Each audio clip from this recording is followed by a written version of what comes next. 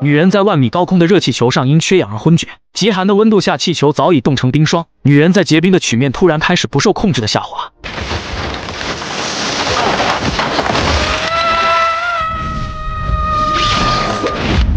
等他再次睁开眼时，发现自己被倒吊在空中，原来是脚上缠着的绳子救了他一命。博美吓得赶紧起身，死死抓住绳子。然而当他俯瞰下去，脚下的景象差点没把他吓死。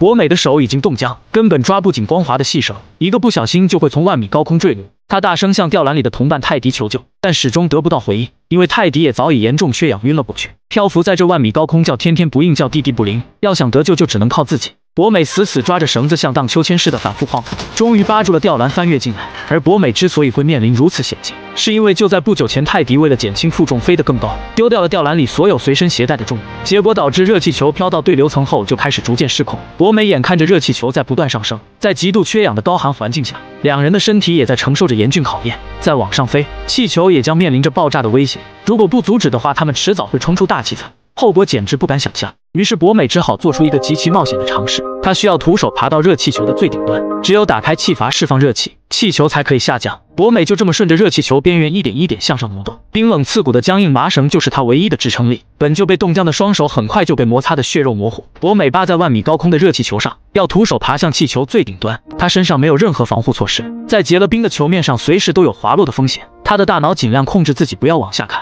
可眼睛还是忍不住，只是稍微瞟了一眼，就把他吓得双腿发软。此时博美已经感觉严重胸闷气短，意识恍惚，体力透支加上过度缺氧，他知道自己随时可能会昏迷。于是博美一鼓作气，奋力向上爬。破裂的手掌疼痛难忍，瑟瑟发抖的身体十分僵硬。博美拖着沉重的身体，终于爬到了最顶端，还来不及喘口气，便立马站起身踹开了气阀。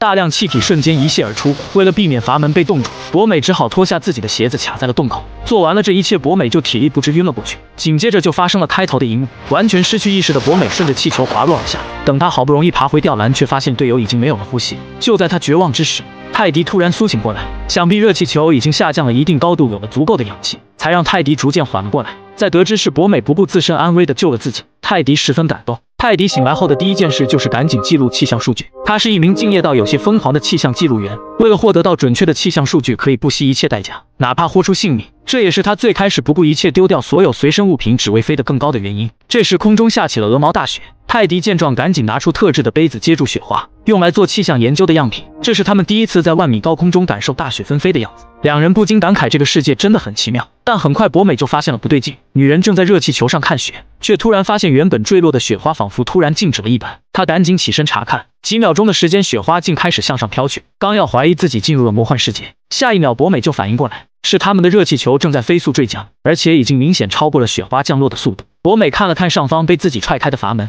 现在修补根本来不及，他们只能不停的给吊篮减重，可能扔的都扔了，甚至连取暖的棉衣也丢了下去，却依然无济于事。以这个速度俯冲向地面，他们必定会死无全尸。于是泰迪产生了一个大胆的想法，他让博美爬上固定吊篮的铁环上，然后一点一点将吊篮的绳索割断。为了减速，只能割舍他们唯一的容身之处。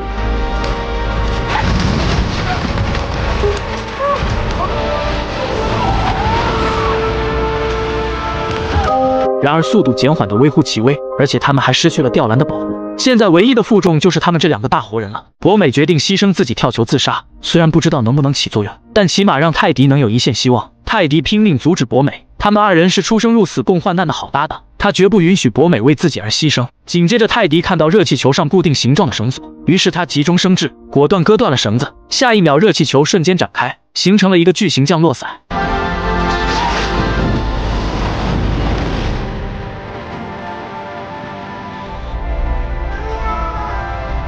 两人手牵着手，相视一笑，为拯救了彼此而欣慰。可危险还没有结束，只见降落伞俯冲进了森林，泰迪被尖锐的树枝各种剐蹭，先掉了下来；博美则是被拖行了好几百米。